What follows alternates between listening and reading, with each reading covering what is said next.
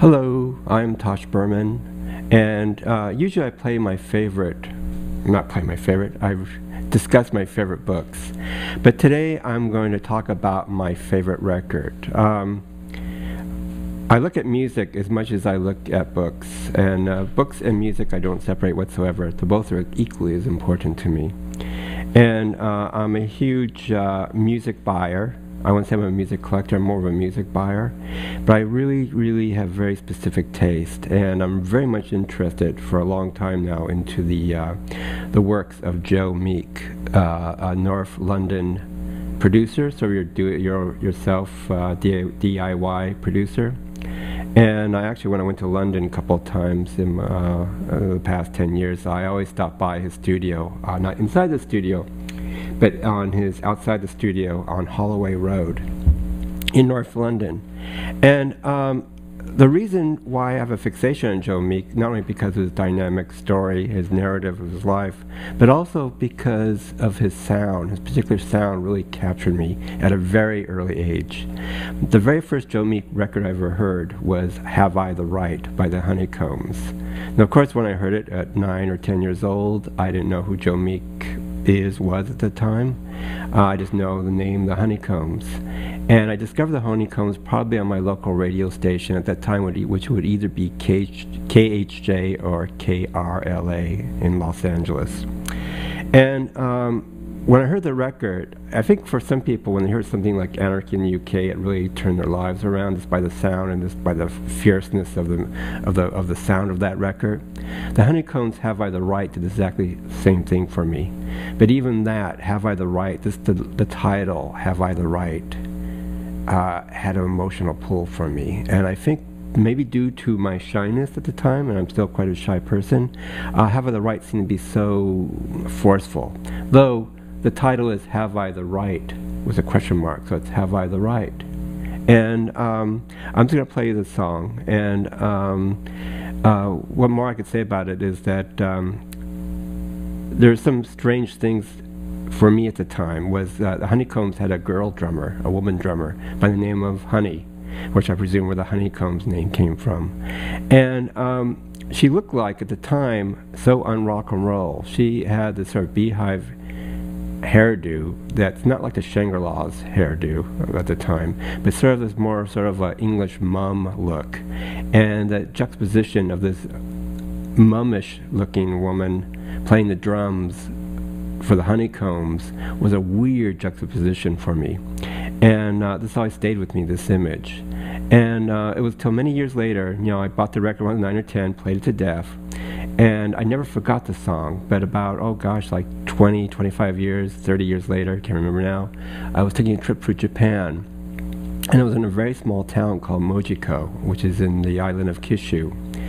And there I found um, a, a, stereo shop that just sold uh, uh, cassette machines, and they had a very small, very small selection of, uh, of CDs uh, sold there, as well as cassettes. And most of the inventory was uh, Japanese enka music. But they had like five or six Western music.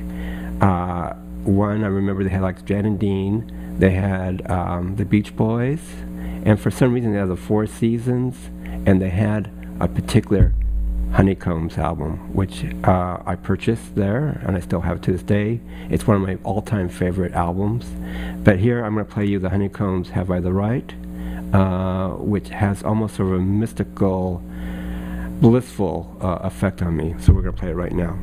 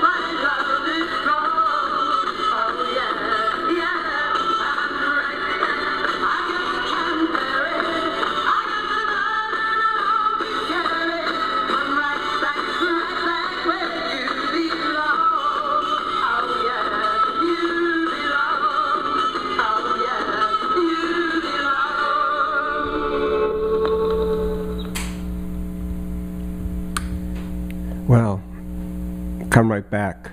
Come right back. This is Tosh, Tosh Berman, Tosh Talks. I'll be seeing you.